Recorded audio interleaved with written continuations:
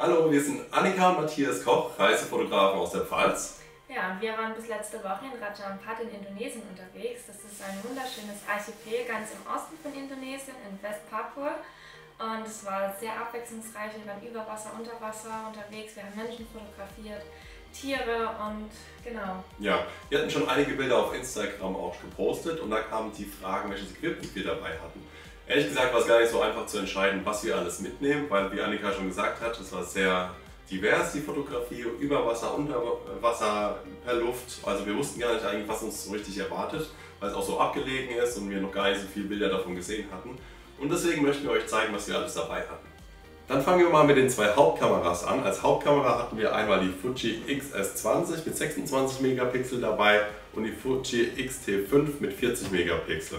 Ja, wir waren sehr zufrieden mit den Kameras. Sie sind beide sehr leicht, kompakt, aber doch sehr leistungsstark und hatten dann natürlich auch verschiedene Objektive. Ähm, mit den Kameras haben wir einerseits Bilder gemacht, aber auch Videos. Die Videos haben wir für Reels eingebunden, für die Stories, aber wir werden auch noch ein YouTube-Video ähm, gestalten über Raja Ampat, welches auch die nächsten Wochen online kommt. Ja, mit den Objektiven haben wir geguckt, dass wir auch hier so breit wie möglich aufgestellt sind. Zum einen angefangen mit 8 mm, das haben wir hauptsächlich dabei gehabt, weil es super leicht und kompakt ist. Und auch gedacht, wenn ich zum Beispiel im Kanu hinten, im Kajak hinten saß und dann mit 8 mm Annika von hinten beim Kajaken sehr schön fotografieren konnte. Ja, dann bei der XS20 hatte ich meistens das 18 mm Objektiv drauf, weil ja, das hat eigentlich viele ähm, Situationen schon abgefangen. Ähm, es hat auch eine sehr kleine Blende, also eine sehr große Blendenöffnung von 1,4, deshalb, also wie gesagt, ein sehr lichtstarkes Objektiv. Von daher war das auch morgens auf dem Markt zum Beispiel ziemlich toll. Ja, das haben wir auch verwendet für ähm, Porträtaufnahmen, aber auch vor allem, wenn es ein bisschen dunkler wurde in der Nacht, da ist es natürlich sehr hilfreich, wenn die Blende 1,4 beträgt. Ja, als nächstgrößeres oder als nächste Festbrennweite hatten wir hier ein 50 mm dabei, das ist ein recht großes Objektiv, aber hier die Blende 1.0 macht ein super Bouquet und Annika, du hattest das meistens dabei. Ich hatte das morgens zum Sonnenaufgang auf dem Markt, also um 6 Uhr ging die Sonne auf, aber wir waren schon um 5.30 Uhr vor Ort. Das heißt, es war noch blaue Stunde, die Sonne war noch gar nicht aufgegangen.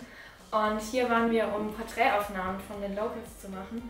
Und ja, das war mit der 1.0er Blende war das halt der Hammer. Ähm, ja, super lichtstark und hat einen super schönen Bouquet-Effekt und es war so für Porträts auf jeden Fall meine Lieblingsblende. Ja. Äh, mein Lieblingsobjektiv. Bei der XT5 hatten wir hauptsächlich das 16 bis 55 mm Objektiv 2.8 dabei. Das ist ehrlich gesagt auch so ein bisschen mein Lieblingsobjektiv, weil es einfach sehr flexibel ist und auch lichtstark mit einer Blende 2.8.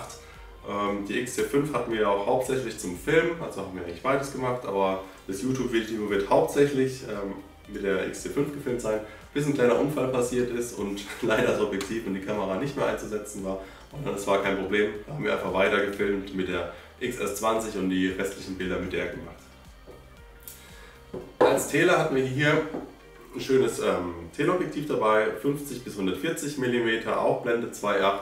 Das hatten wir auch, wenn wir ja, einfach die Leute in den Städten fotografiert haben ähm, oder einfach Objekte klar beim Teleobjektiv die ein bisschen weiter wegfahren, um mit der Perspektive besser spielen zu können. Ja, hätten wir Vögel gesehen, hätten wir auch diese Linse genommen, aber leider wurde unsere Bird Safari nix. Ähm, aber wären wir auf Bird Safari gegangen oder hätten nochmal speziell Birdwatching gemacht, dann wäre das natürlich die, die, äh, die Linse unserer Wahl gewesen. Ja, zusammengefasst, wenn ich jetzt nur ein Objektiv mitnehmen dürfte, würde ich das 1655 mm 2.8 nehmen, aber wir waren mit allen sehr zufrieden. Ja. Wenn ich nur eine dürfte, dann würde ich das 50 mm mit der äh, 1,0er Blende nehmen. Das hat dir gefallen? Ja, ich finde es super. Sehr cool. Dann machen wir weiter ähm, mit Luftaufnahmen. Wir haben zwei Drohnen dabei, aus dem Grund einerseits, weil die Mini 3 äh, Pro auch hochkant filmen kann, was für Instagram sehr wichtig ist, aber auch als Ersatz, wenn eine Drohne mal abstürzen sollte, was immer mal passieren kann, dass wir einfach zwei haben und als Hauptdrohne haben wir die Mavic 3. Ähm, ja, mit denen sind wir beide sehr zufrieden. Ja, vor allem, man sieht den Unterschied halt am meisten, wenn man es sehr stark windet, dass die Kleine halt nicht ganz so gut mithalten kann. Aber ansonsten setzen wir die schon sehr gerne ein, weil, wie gesagt, wir auch hochkant damit filmen können und das ist ja gerade in Bezug auf Reels oder Stories schon ein großer Vorteil. Ja, und wir sind ja mit dem Kajak unterwegs gewesen, wir hatten nicht viel Platz, deswegen, wenn wir nur mit dem Kajak unterwegs waren und nicht so richtig transportieren konnten, die Sachen, dann auf jeden Fall die Mini 3, weil die einfach schön klein ist. Wenn das Licht ein bisschen schlechter war, dann haben wir auf die Mavic 3 gesetzt, weil einfach der Sensor größer ist und mehr Licht drauf kann. Ja, Rajanpad ist auch für das Schnorcheln sehr bekannt und auch wir haben uns dann ein bisschen für die Unterwasserfotografie ausgestattet. Und zwar haben wir ein Unterwasser-Case. Ähm, das ist das erste Mal, dass wir das dabei hatten und für die Zwecke, die wir es jetzt hatten, waren wir sehr zufrieden. Ähm, das ist natürlich recht schwer und groß, war nicht ganz so einfach zu transportieren, aber auf jeden Fall das wert, dass wir es, auf äh, dass wir es dabei hatten.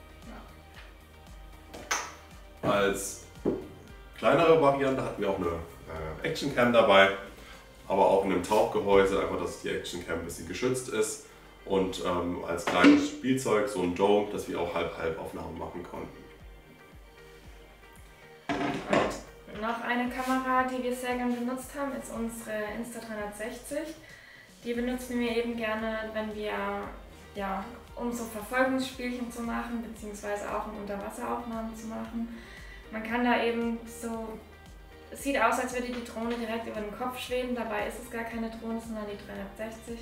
Und es macht schon Spaß. Es ist einfach ein Spielzeug, die Qualität ist jetzt ja nicht auf dem Level wie die anderen Kameras, aber es macht einfach Spaß, da ein bisschen rumzuspielen. Genau, in Verbindung vor allem hier mit dem langen äh, Stick, der ist 3 Meter lang und dann kann man schon ganz coole Perspektiven schaffen.